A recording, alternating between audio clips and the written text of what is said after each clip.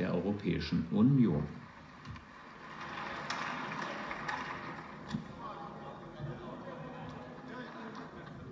Herr Präsident, meine Damen und Herren, diese heutige Debatte kommt auf Antrag der AfD zustande. Denn die Bundesregierung wollte diese Debatte schlichtweg vermeiden. Diese Debatte über den globalen Pakt für Migration. Vom Auswärtigen Amt wird mitgeteilt, Herkunfts-, Transit- und Zielländer vereinbaren angeblich völlig unverbindlich nur die Steuerung von Migration. Das ist falsch. Sie wissen alle, dass die seinerzeit unverbindliche UN-Menschenrechtserklärung heute zwingendes Recht ist. Und der globale Pakt definiert Migrantenmenschenrechte, einschließlich des Rechts auf der Migration in das Land der Wahl des jeweiligen Migranten. Meine Damen und Herren, er zielt direkt darauf ab, bindendes Recht, Völkerrecht zu werden, Jus Cogens zu sein. Eine Ratifizierung braucht es nicht. Österreich hat das erkannt und verweigert die Annahme. Klug und besonnen erklärt Österreich zusätzlich den Pakt für sich als rechtlich nicht verbindlich. Permanent Objector, wie das im Völkerrecht heißt. Man muss klare Einwanderungsregeln zwischen Staaten gestalten und nicht individuelle Migranten Menschenrechte erfinden und damit den Rahmen des Völkerrechts erweitern. Meine Damen und Herren, im Verhältnis der Staaten geht es immer um Interessen. 55 afrikanische Staaten beispielsweise sind eine Macht. Das jährliche Bevölkerungswachstum Afrikas von über 30 Millionen entspricht der Bevölkerung aller Benelux-Länder zusammen. Und das Jahr für Jahr. Glauben Sie, dass der globale Pakt hier ein einziges Problem Afrikas löst oder gar Deutschlands? Meinen Sie, dass im globalen Pakt vereinbarte Meinungszensur dass Migration nur positiv dargestellt werden darf, ein einziges Problem Afrikas oder Deutschlands löst? Meinen Sie, dass es für Deutschland hilfreich ist, die derzeit mindestens 19 Petitionen zum globalen Pakt im Petitionsausschuss gezielt politisch weiterhin zu unterdrücken? Meinen Sie, dass es Afrika hilft, wenn illegale Migration durch schlichte Registrierung über die IOM und UN zu legalen, also gesteuerten Migranten umdefiniert werden? Meinen Sie, dass Kriminalität es nicht mehr gibt, wenn Täter nicht mal nach äußeren Merkmalen erfasst und geordnet strafrechtlich verfolgt werden dürfen? Wir Bürger und Deutsche wollen selbst und souverän über die Zulassung von Migration nach Deutschland entscheiden. Deutschland ist eine Nation, kein bloßes Siedlungsgebiet. Wir sind ein Rechtsstaat. Herr Hebner, äh, gestatten Sie eine Zwischenfrage der Nein. Kollegin Polat? Nein. Wir sind ein Rechtsstaat und halten Menschenrechte ein und fordern deren Einhaltung.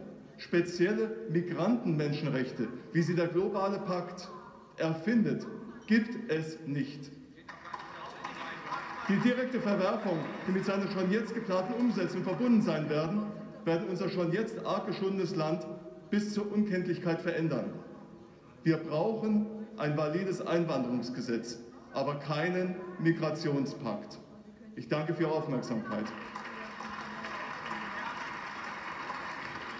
Martin Hebner für die AfD-Fraktion in der Debatte über den Global Compact for Migration. Es stimmt übrigens nicht ganz, dass in diesem Hohen Hause, also im Deutschen Bundestag, dieser Pakt noch nie besprochen worden ist.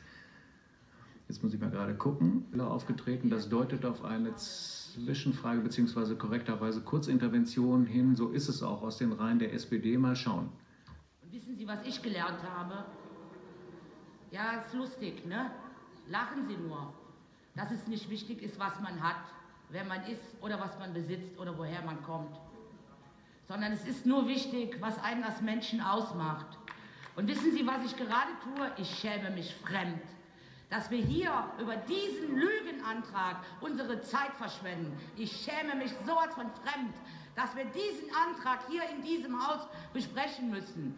Haben Sie das überhaupt mal vernünftig durchgelesen? Ich, am liebsten würde ich jetzt noch was ganz anderes sagen. Ja, beschimpfen Sie mich ruhig, das können wir auch gleich gerne unter vier Augen machen. Da darf ich nämlich sagen, was ich will.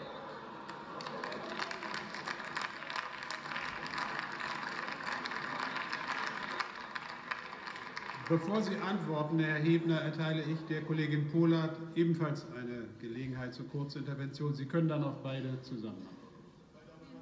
Präsident, ähm, ich möchte an die ähm, Stellungnahme von der Kollegin anschließen. Es geht hier nicht nur um Lügenantrag, sondern aus dem Büro des Kollegen Abgeordneten Hebner äh, sind äh, mehrere Petitionen justiert worden, die zutiefst antisemitisch sind.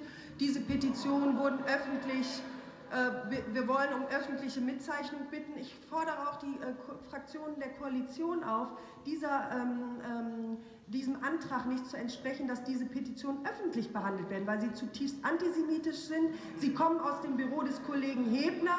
Sie führen die AfD-Kampagne, um Verschwörungstheorien voranzutreiben. Ähm, eine Mitarbeiterin ist diffamiert worden der Bundestagsverwaltung. Dazu müssen Sie sich erklären. Und die Frage ist, ob Sie diese Mitarbeiter entlassen haben. Herr Hebner.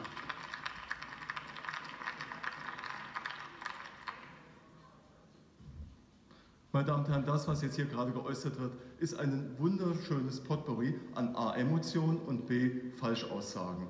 Denn wir wollen es jetzt mal der Reihe nach durchgehen. Jeder, der in dem Falle hier irgendwo auch nicht eine Universität besucht hat, ist natürlich selbstverständlich gleichberechtigt. Aber deswegen pauschal irgendwo etwas zu verunglimpfen, meine liebe Frau Kollegin, das ist nicht richtig. Das andere, was Sie jetzt hier gerade erzählen, von wegen, wegen, Isra äh, wegen antisemitisch. Ich möchte Sie darauf hinweisen, dass Israel diesem globalen Pakt für Migration nicht beitreten wird. Und zwar ganz dezidiert, da Israel diesen Pakt, und zwar maßgebliche Leute als Pakt der Wölfe bezeichnet und im Land, in dem man auch in dem Falle Schaf hat, soll erstmal keine fremden Wölfe rein. Das tut man nicht. Also von daher, die haben das ganz klar abgelehnt. Übrigens, und Sie sagen in dem Fall, wir wären antisemitisch, dann würden Sie sagen, dann sind Australien, USA, Tschechien, Polen, Österreich, Ungarn, Kroatien etc. Ich habe nächste Woche einen Termin mit dem Schweizer Botschafter, bestimmt für Sie auch antisemitisch, wenn Sie sich gegen einen Pakt, der Ihr Land schädigt, wendet. Und schauen Sie, wir machen nichts anderes, als dass wir hier die Interessen unseres Landes, genauso wie andere Länder, die ihr vertreten, auch wahrnehmen. Und dazu sind wir als Volksvertreter auch definitiv verpflichtet. Und ich möchte ganz klar die Kollegen der anderen Fraktionen auf diese Verpflichtung explizit hinweisen. Und das, was Sie jetzt in dem Fall wegen Petition gesagt haben, wenn in einer Petition, da hat sich ein Mitarbeiter entschuldigt, wenn er irgendetwas veröffentlicht hat als Antwort. Meine Damen und Herren, hier werden öffentliche Petitionen zurückgehalten im Interesse Deutschlands, einen Pakt zu behandeln, und zwar mit der Aussage, es würde den interkulturellen Dialog gefährden. Das heißt, wir dürfen uns als Deutsche nicht mehr zu einem Pakt, den Deutschland abschließt, melden, weil der mit dem Ausland geschlossen wird. Meine Damen und Herren, das ist grober Unfug, was hier passiert. Und man kann, und man kann bitte nicht einfach eins machen. Und der Kollege, der es gemacht hat, dass hier ein Antwortschreiben veröffentlicht wurde, mit dem Namen, ohne den Namen rauszunehmen, da hat er sich explizit entschuldigt und hat auch in dem Fall es mündlich, schriftlich gemacht.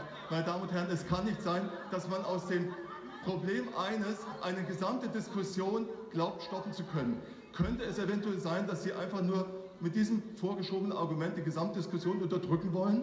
Könnte es eventuell sein, dass Ihnen das aus ideologischen Gründen einfach gerade zu Pass kommt? Und im Übrigen, ich will darauf hinweisen, es sind viele Petitionen da, unter anderem auch die von der Frau Vera Lengsfeld. Frau Lengsfeld hat mitnichten, da gebe ich Ihnen hundertprozentig auch Brief und Siegel.